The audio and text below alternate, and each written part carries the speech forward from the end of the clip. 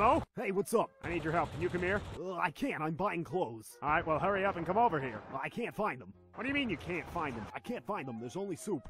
What do you mean there's only soup? It means there's only soup. Well, then get out of the soup aisle! All right, you don't have to shout at me.